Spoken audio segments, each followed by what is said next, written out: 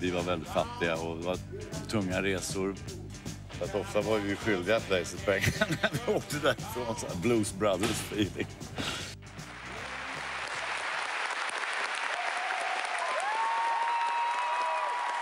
Jag var och tävlade på eh, Madison Square Garden. Svenskt band eh, skulle spela på ett ställe på Manhattan. Så vi åkte ju dit.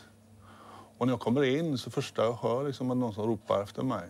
Och då ser jag Totta i baren. Och för mig var det ju fantastiskt stort för att jag är uppväxt ute i förorterna liksom, och lyssnat på Nationalteatern eh, liksom, när man växte upp.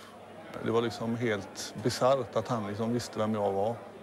Då stod hela bandet i baren och han bjöd in mig där så vi stod och tog några drinkar. Men när de gick på scen så, så var det ingen som brydde sig direkt inne i baren.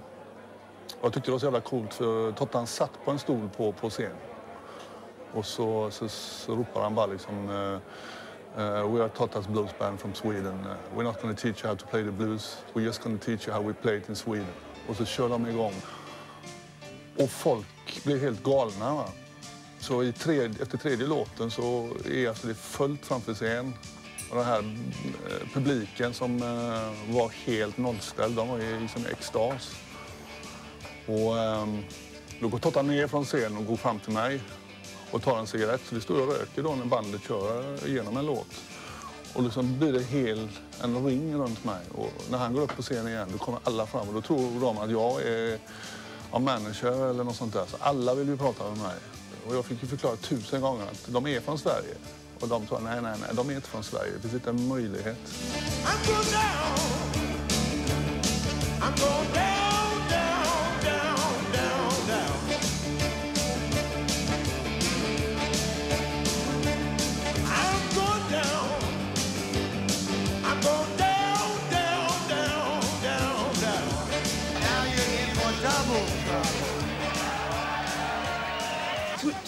touring world with Stones and touring Sweden with the Topaz Blues Band, is there any way to compare? It?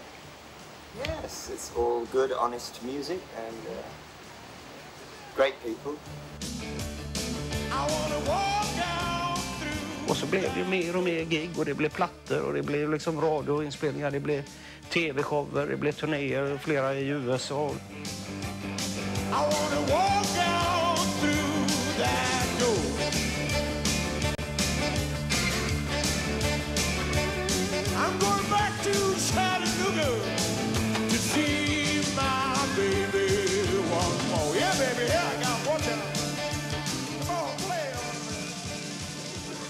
Norden hela tiden. Norge, Danmark, Finland om och om och om igen. Och spela, spela, spela, spela som dårar i stort sett fram till i slutet på 85 när Torsten ett tag innan sa det att nu orkar jag inte med mig detta. Det känns som att nu är det färdigt. Och det, så är det ju. Var sak har sin tid. Man tar liksom det man håller på med så långt man kan. Och då man anser sig ha gjort det, då lägger man ner. Då man inte kan komma längre.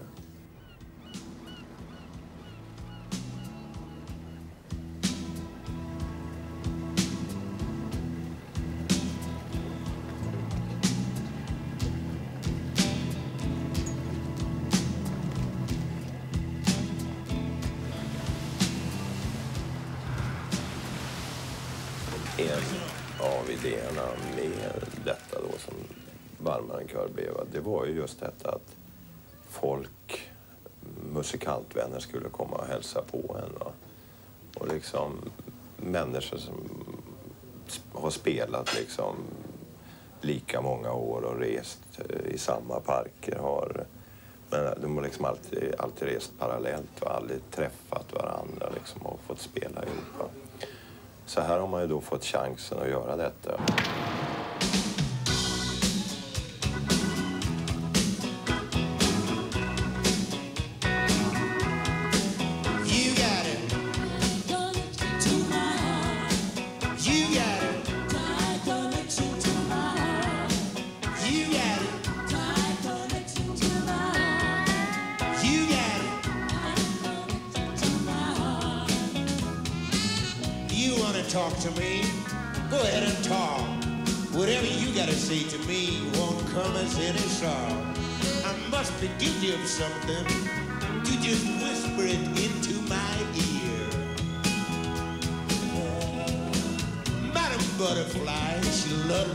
Sleep in a town without pity where the water runs deep. She said, Be easy, baby.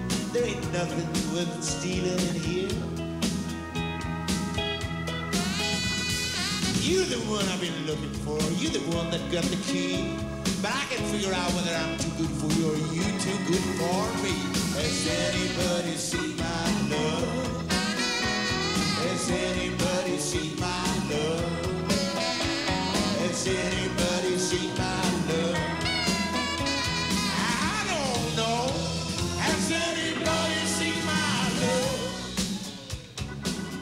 Yvonne. det, Eh, det var ju Tottas klubb då. Han hade väl den kanske med sina kompisar eller någonting. Jag vet inte. Men det var Tottas klubb i alla fall. Som vi uppfattade. Och Totta var alltid där. Eh, kändes det som. Och vi hade väl tur om vi fick komma in där. Det var ju liksom, man fick ju lägga på, sig, lägga på någon äldre min och liksom för att Liksom, hålla ihop lite för att komma in där på, hålla ihop fyllan så att säga, för att komma in. För det var ju inte helt lätt heller, vi var ju bara liksom tonåringar. Men eh, mina kompisar som jag hängde med i bandet, så här, de ville alltid lyssna på bluesen på Sivan och hoppades väl att Totta skulle sjunga någonting också. När vi var där. Och jag var, fanns där i publiken.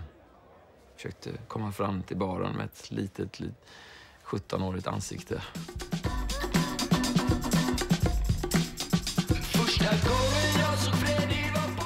Du vet inget om bluesen förrän du har ätit sten. Ja, just det. Ja, när jag, skrev, när jag gjorde den där låten så, så eh, drog jag mig till minnes kvällarna på Sivon och hur man kände att man aldrig liksom nådde fram riktigt till sina idoler eller till eh, bardisken.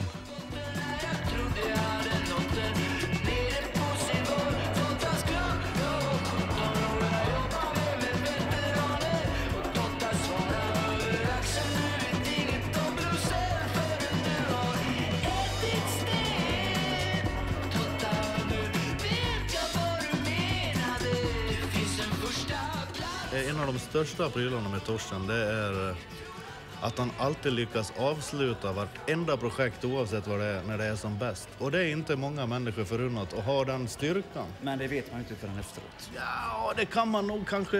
Jag menar om, om du vet att du, nu har jag ett band där det, vi har liksom hur många förfrågningar som helst. Och vi har haft det i ett, och ett halvt två år. Titta på gamla bluesband eller någonting. Då plötsligt säger man nej, nu lägger jag ner det här. Eller om man driver en krog. När det går som bäst då säger man nej, nu jag, jag hoppar av. Folk har undrat hela tiden varför la du ner Nynningen, varför la du ner Nationalteatern? Varför la du ner Tottas Bluesband? Varför hoppar du av krogarna? Och allting handlar om liksom att jag vill vara med om, om nya saker.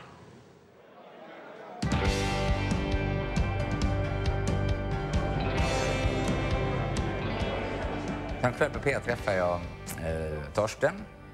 Och vi satt och snackade och för en gångs skull så började vi prata musik och jobb, vilket vi nästan aldrig gjorde annars. Eh, och då berättade han att eh, han skulle snart fylla 50 och eh, han hade bestämt sig för att innan han fyllde 50 så skulle han göra en soloplatta på svenska. Han hade bara ett problem och det var att han hade inga låtar. Och jag sa, ja men vad fan, jag har en massa låtar men jag har ingen artist. Eh, så att veckan efter var vi igång. Vi hade ju ganska ont om tid för att eh, vi hade sex månader på oss att få allting klart. Och inte bara inspelat och klart utan färdigpressat och i butik. För första april 1994 så skulle den, eller 1995 skulle den ut. Så.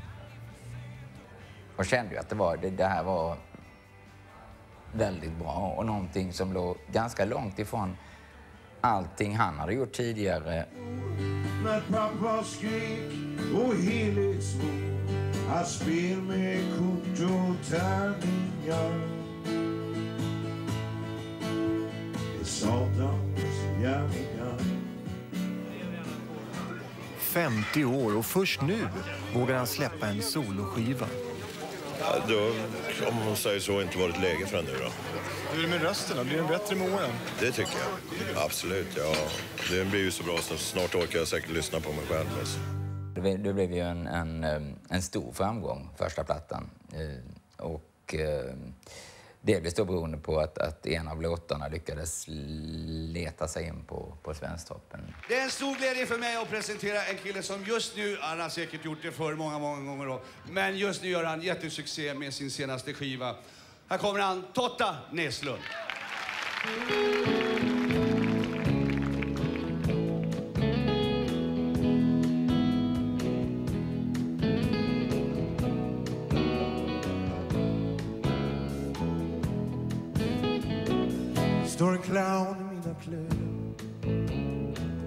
Svär att allting är okej.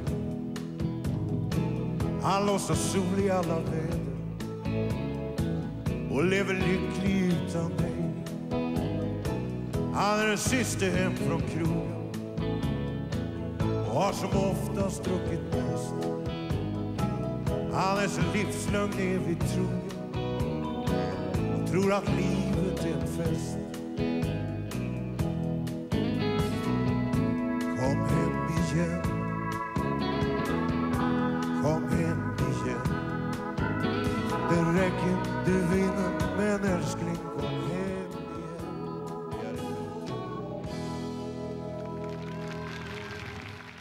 Vi fick ju prata mycket i och med att jag inte har skrivit till någon annan förut. Så, så ville jag ju lära känna Torsten. Jag fick ju ta liksom en, eh, på djupet då, så jag skulle kunna skriva saker åt honom som, som han bottnade i.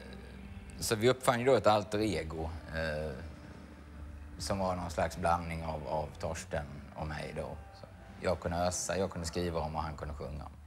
Alter egot var väl en, en, en, en, eh, en man i medelåldern med ett eh, lite svajigt förhållande till alkohol. Eh, ett litet svajigt förhållande till kvinnor, flera brustna äktenskap bakom sig och,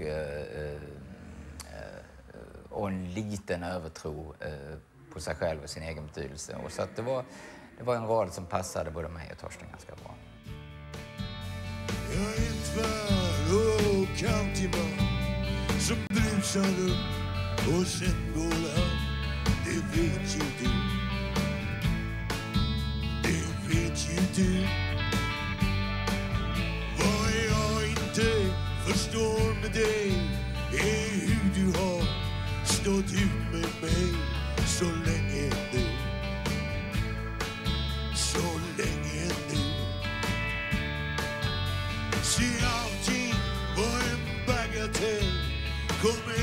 älskling, vi går ut ikväll och dansar tills du älskar mig igen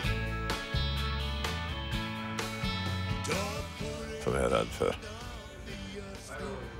Ja, det är med mig själv då i så fall. Annars är jag inte så rädd av mig tror jag. Utan det är väl vad man kan göra med sig själv.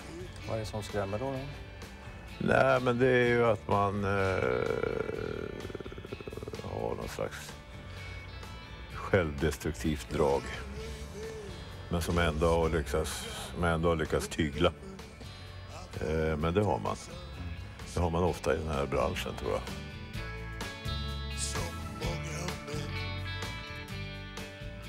Det var ju väldigt familjärt redan från liksom minut ett. Eh, Det var liksom som att man hängde med farsan eller något sånt där. Liksom. Det, jag kommer ihåg exakt, han var skittrött och han hade varit ute och festat hela natten med Mats Ronander.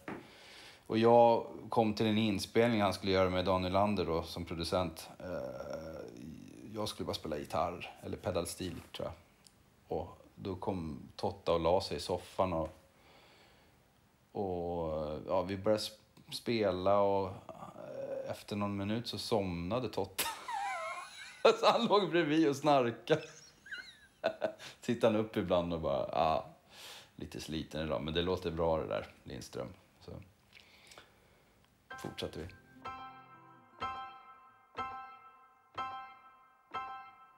När det var såna här småspelningar så var han ju helt fantastisk. Då var det ju världsklass. Eh, och då började han spela låtar som man inte hade hört. Ändå kunde vi följa med honom på något sätt. För det var sån urkraft när han, när han sjöng låtarna. Så man förstod liksom på något sätt. Ja, spelade alla rätt på någon konstig anledning.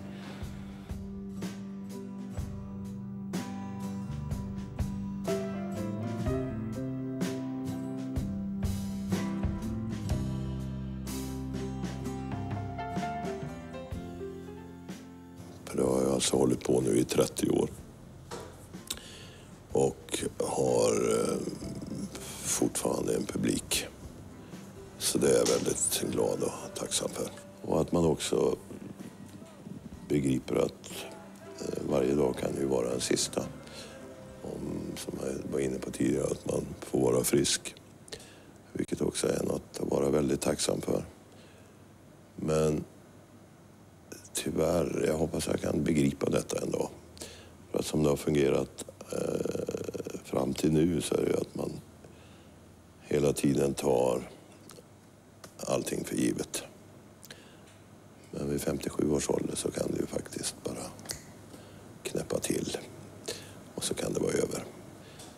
Så att jag får väl säga då carpe diem och hoppas på att jag kan göra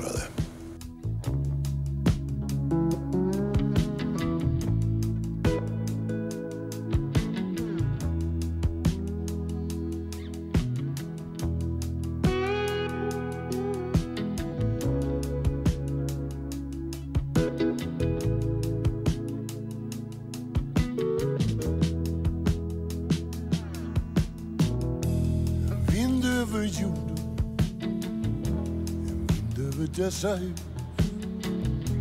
En vind genom rummet, blåser ut alla ljus. Jag delade inte min fars intresse för musik när jag var liten eller under min uppväxt. Eh, Men däremot så hade vi ett eh, gemensamt intresse i sporten. Och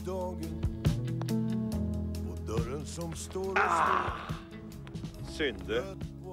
För han eh, var rolig, men eh, väldigt envis. Eh, ville gå sin egen väg och det funkar nog bättre i musiken än just i spelet golf. Bra dagar kommer snart. Bra dagar som lyser klart. Som jag ser det så var han väldigt bra på att leva. Väldigt, väldigt lyxig på något sätt. Han var väldigt, eh, jag tänkte alltid på honom som en ganska lyxig person. Som alltid fixade schyssta gager, alltid fixade bra turnéer. Även om, och det var ju för att han var väldigt duktig men det var också att han var väldigt bra på... Han liksom skulle aldrig gå och sätta sig på honom. Han hade väldigt bra självförtroende på det sättet. Så han värderade liksom det, det. Han var bra på att värdera det han gjorde. Och så är det där med att han spelade på sina hästar och vann. Och när han gjorde det så vann han naturligtvis jättemycket pengar. Så han kunde köpa ett hus i Mexiko och bo halva året där. Så att det var liksom något kändes som att han fixade, fixade sig ett bra liv och var bra på att leva. Bra dagar som lyser klart. Då allt är givet och så uppenbart. Bra, bra dagar kommer snart.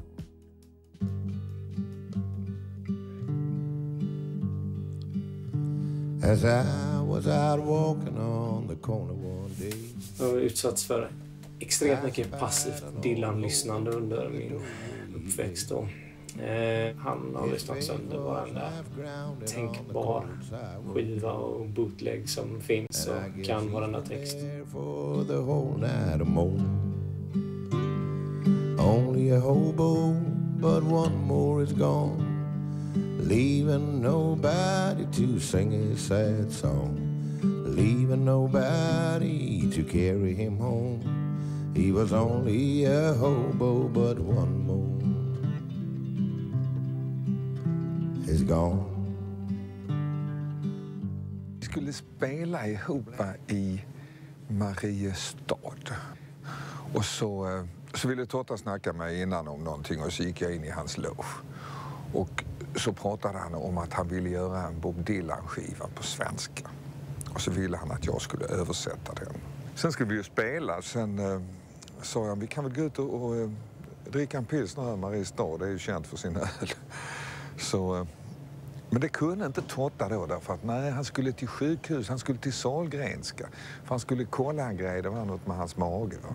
Så han kunde inte stanna. Nej, okej, synd. Stack han. Sen tog det ett par veckor. Så ringde Totta och sa att jo, det var cancer det där med magen. Va? Inget farligt, men i alla fall. Och jag tänkte i mitt stilla sinne. Jag hoppas verkligen att det inte är så farligt som han tror att det inte är. Men sånt där brukar man inte veta riktigt. Va? Men i alla fall så, så, så tänkte jag, ja men om han nu inte mår riktigt bra och känner sig, känner sig så hängig på grund av det här så kanske han blir glad om jag skickar en låt. Va? Så då översatte jag, en, översatte jag en sång som heter Things have changed. Och sen spelade jag in den och så skickade vi den till Totte. Och så gillade han det. Så sågs vi i, på våren 2005 i Göteborg. Spelade in ett par låtar ihop och då var Totta ganska dålig alltså. Är det någon som orkar hämta mina papper? Ja, det är ju kanon. Vi tar hela den, eh, bara sjunga in mig på den. På sticket, sticket. Ja.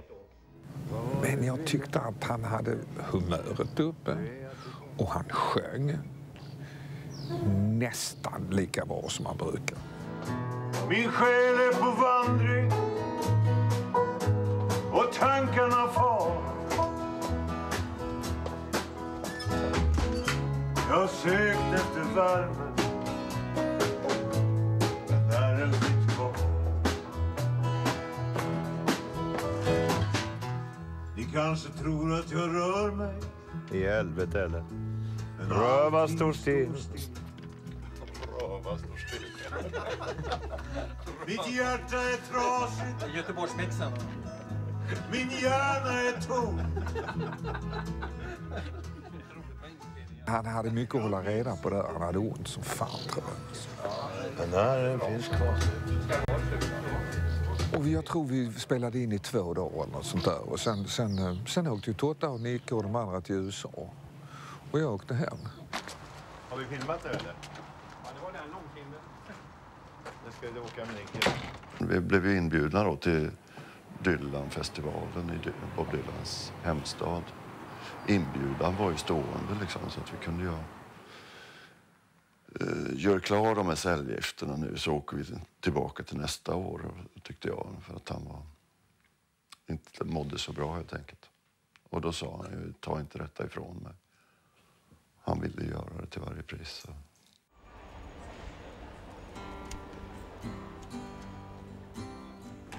Jo, det var ju liksom en jävligt viktig resa. Det var en slags pilgrimsresa för, för Totta, tror jag. Alberta, let your head hang low. Alberta, let your hair hang low. Men han höll färgen väldigt bra. i alla fall. Och modet uppe. Liksom. If you don't, let your hair hang low. Alberta, what's on your mind? Alberta, what's on your mind? You keep me worried and bothered all of the time. Alberta, what's on your mind? Let's give it up for the Godfather. Seriously, Gordon Ainsley.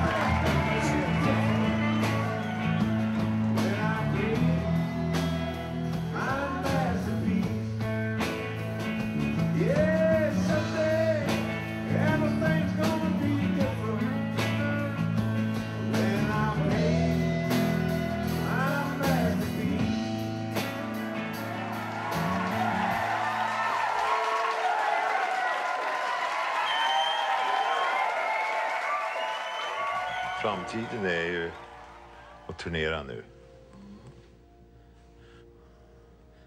Och färdigställa Dylan-plattan. Sen har jag två projekt till på gång. Ett att göra en, om man nu kan kalla den förra plattan för soul, men någon slags soul är det väl. Göra en soulplatta till. Och det arbetet har påbörjats.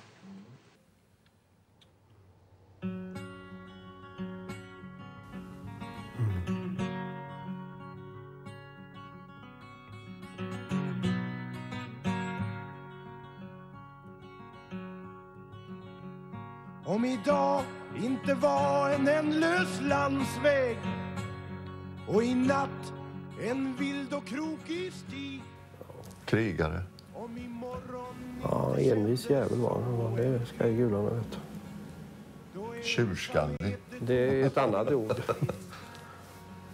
Ja. Men bara om min älskade väntar Om jag hör hennes hjärta sakta slå bara om hon låg här tätt intill mig Kan jag bli den jag var igår.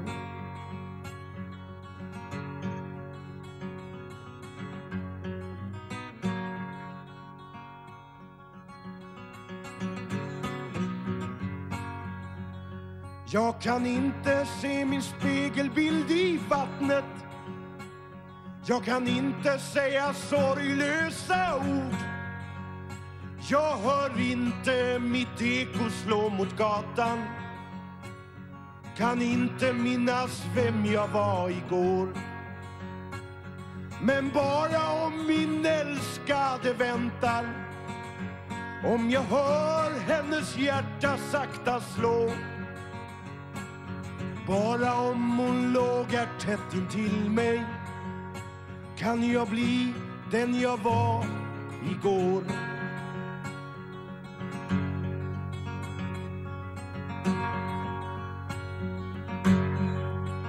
Ja, det var det.